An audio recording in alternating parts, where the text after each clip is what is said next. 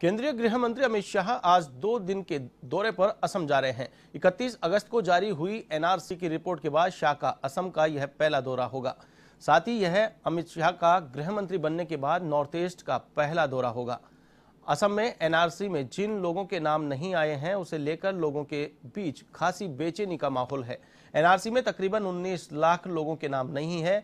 गृह मंत्री अमित शाह 8 सितंबर को गुवाहाटी में नॉर्थ ईस्ट काउंसिल की बैठक में हिस्सा लेंगे, जहाँ इस दौरान वे आठ राज्यों के राज्यपाल और मुख्यमंत्रियों से मुलाकात करेंगे। बता दें कि एनआरसी की सूची आने के बाद असम के वित्त मंत्री हिमंत बिस्वा शर्मा और राज्य भाजपा प्रमुख रंजीत कुमार दास ने कहा था कि वे एनआरसी से नाखुश हैं। क्योंकि कई वास्तविक भारतीय नागरिकों के नाम शामिल नहीं थे। वहीं शर्मा और दास दोनों ने कहा था कि वास्तविक भारतीयों के अधिकारों की रक्षा के लिए सरकार द्वारा कुछ विधायी विकल्प लेने की संभावना है।